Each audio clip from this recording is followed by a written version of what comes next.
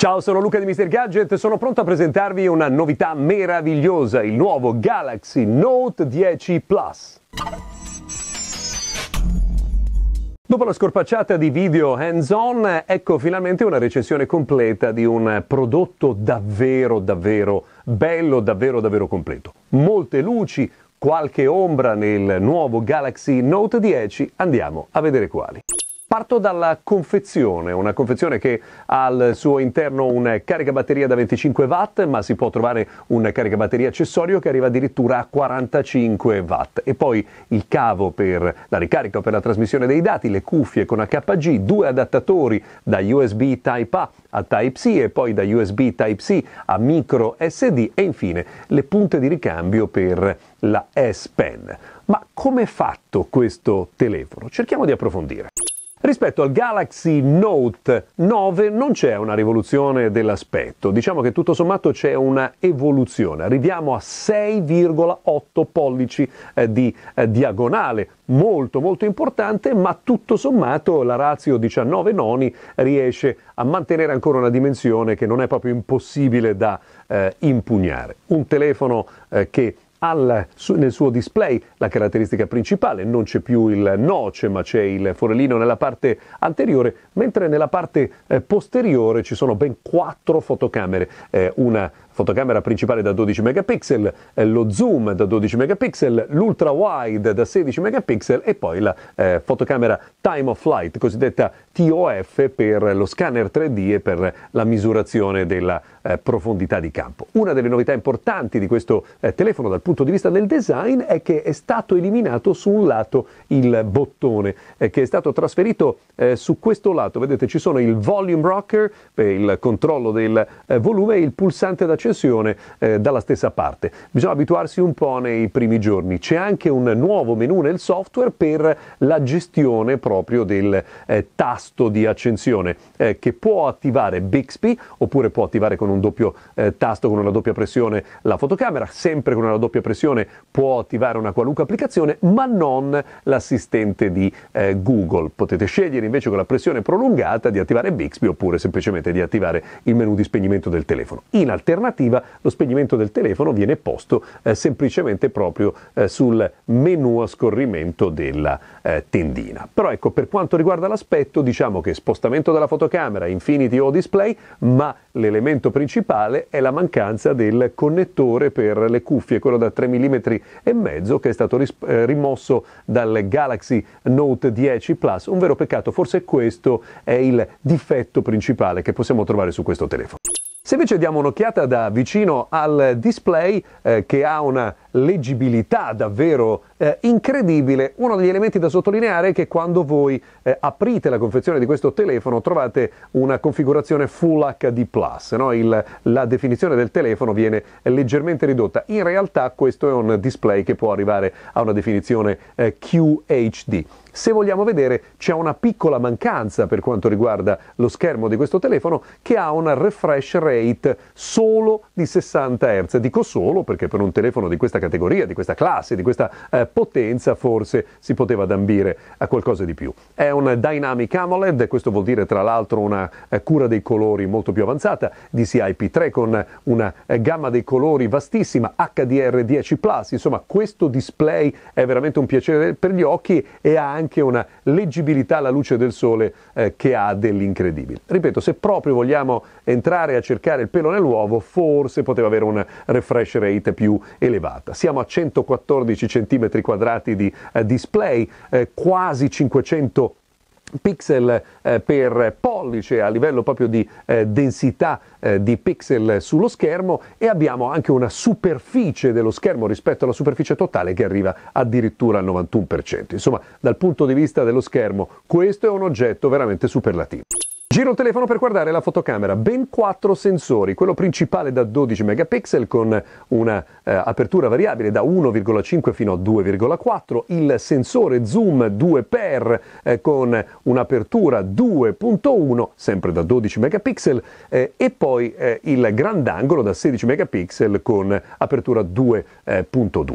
C'è un dettaglio molto importante da sottolineare, il sensore principale e quello eh, invece eh, per lo zoom 2x sono stabilizzati con una stabilizzazione ottica, non succede invece per eh, il sensore grandangolare. C'è poi la eh, fotocamera time of flight, quella per la scansione dello spazio, eh, che può essere utilizzata anche con lo scanner 3D oppure per la misurazione eh, della profondità degli oggetti eh, direttamente con il telefonino. Se noi guardiamo il menu della eh, fotocamera troviamo un menu tutto sommato che ben conosciamo per eh, quanto riguarda i telefoni Samsung, ma con una novità eh, rilevante, quella eh, del video fuoco live. Vediamo come funziona. Allora ecco nella salita in montagna la prova della fotocamera anteriore con il live focus video altro effetto sempre del live focus video questo con il bianco e nero di tutto ciò che non è considerato in primo piano. Questo invece è l'effetto Video Focus Live, una delle novità principali del Samsung Galaxy Note 10. In questo caso semplicemente con lo sfondo sfocato, ma ci sono quattro tipi di effetti diversi. Il bianco e nero di tutto ciò che non è in primo piano e gli altri, insomma, eh, che vengono realizzati grazie alla telecamera Time of Flight. Quando utilizzate questo effetto con la fotocamera anteriore, il risultato invece è garantito dal lavoro degli algoritmi eh, del Galaxy Note 10.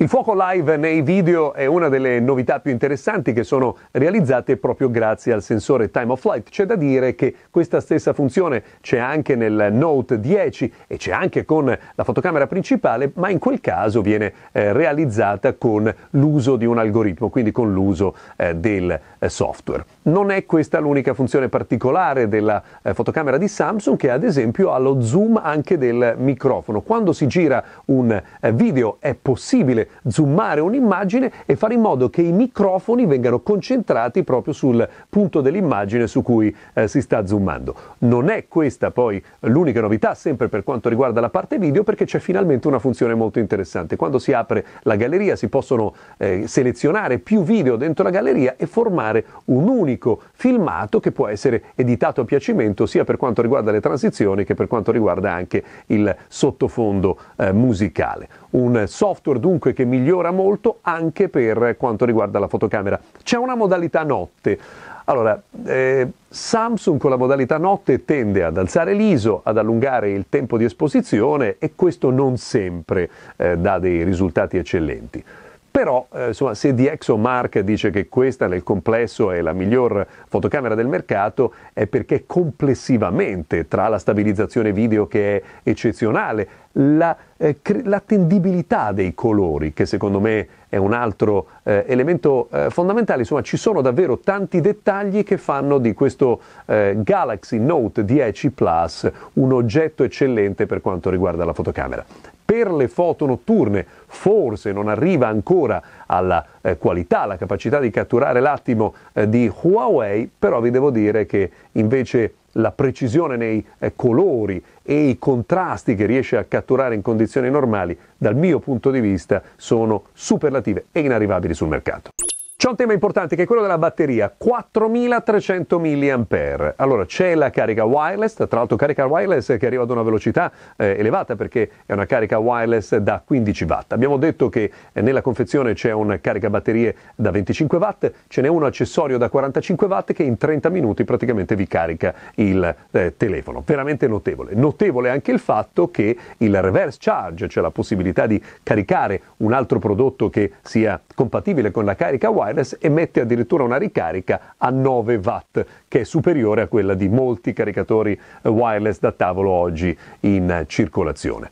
Io sono riuscito ad arrivare a fine giornata senza uh, un uh, grandissimo stress, potete fare più o meno 5 ore di schermo acceso, se avete bisogno di più di 5 ore di schermo acceso nel corso di una giornata non vi serve un caricabatterie, ma forse vi serve l'ambulanza. La S Pen è ovviamente uno dei dettagli fondamentali per il Galaxy Note 10. Quando voi aprite il telefono compare immediatamente il menu principale con le diverse opzioni che avete a disposizione. La novità fondamentale per quanto riguarda il 2019 il Galaxy Note 10 è che questo adesso diventa uno strumento attivo, dentro c'è anche un giroscopio, eh, dentro c'è una vera e propria batteria, in circa 6 minuti si ottiene una carica eh, valida per un uso di circa 10 ore, ma soprattutto potete utilizzare eh, le Air Actions, ovvero eh, le gestures, i movimenti che voi fate con il pennino, voi schiacciando il bottone, ruotando il pennino, potete fare lo zoom al, al, verso l'interno oppure lo zoom in uscita, quindi ingrandire, rimpicciolire le foto e poi non solo perché con movimenti verso l'alto o verso il basso potete modificare lo stato della vostra eh, fotocamera e all'occorrenza anche avviare o fermare la riproduzione di video. Io trovo che questo sia un po' un gimmick, non trovo che sia una funzione veramente utile eh, nella vita eh, di tutti i giorni però il pennino rimane un punto di forza eh, eccezionale. Torno al menu che avete a disposizione per due ragioni. La prima è che adesso i live messages sono a formato eh, Instagram Stories e questo vuol dire che hanno sicuramente una maggiore utilità. Non solo, eh, perché oltre a questo avete un'altra opzione, quella cioè del disegno AR. Eh, date un occhio eh, come funziona. Con la S Pen eh, disegnate un qualunque soggetto e poi muovendo, vedete la testa, quello che avete eh, disegnato si muove, come si diceva una volta, accordingly, quindi in eh, diciamo, coordinamento con le vostre azioni.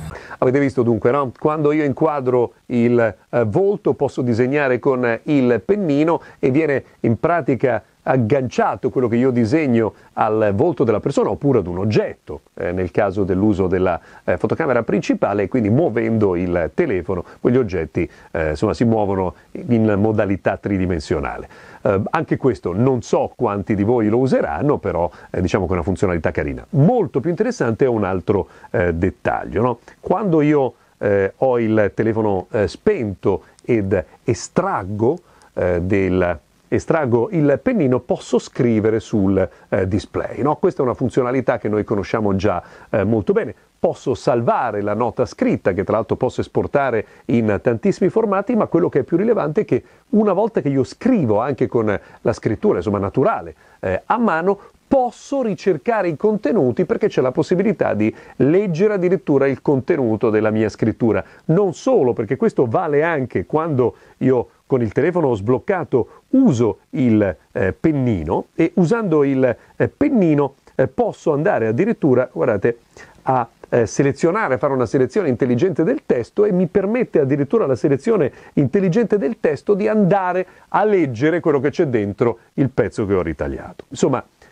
il pennino, la S Pen, secondo me non è probabilmente utile a tutti gli utenti eh, di eh, smartphone, ma coloro che decideranno di usare il Galaxy Note 10 Plus avranno veramente una serie di eh, diciamo, funzioni più avanzate. Io diciamo che non sono proprio maniacale nell'uso della S Pen, ma la trovo spesso eh, molto utile anche semplicemente come un puntatore leggermente più preciso rispetto all'utilizzo di un dito.